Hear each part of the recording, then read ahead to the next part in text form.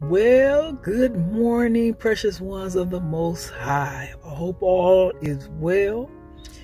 Listen, I was up early this morning and uh, I just felt an urgency to, you know, lay before the Lord and just pray.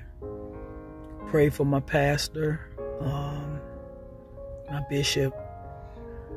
We're having camp meeting in Detroit, August 4th through the 8th for those of you that live in Michigan. Come on, School of the Holy Spirit.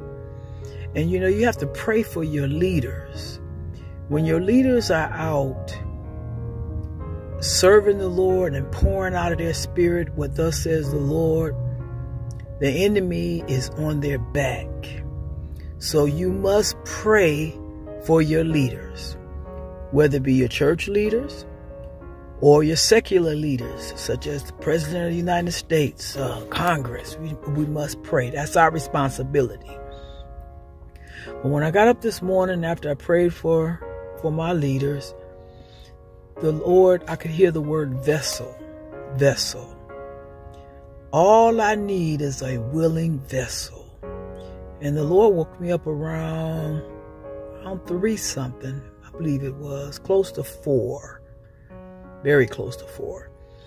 But all I could hear was vessel.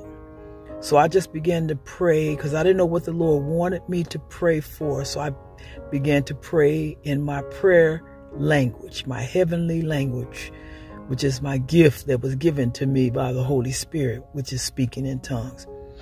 And this morning I spoke in tongues for almost an hour.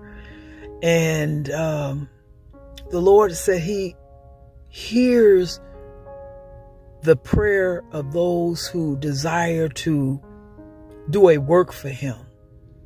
And if you are born again and you have been drawn to the cross and the Lord, you've given your life to the Lord and you are saved, then you are a chosen vessel of God. And all you have to do now is purify yourself from all unclean things, and then you will be meet for the Master's use. Now I can go to 2 Timothy 2 and 21. It says, If a man therefore purge himself from these, he shall be a vessel unto honor, sanctified and meet for the master's use, and prepared unto every good work. So, yes, God, if you are saved, you are a chosen vessel. So prepare yourself so that you will be meet for the master's use. Your footsteps are ordered by the Lord. Mm.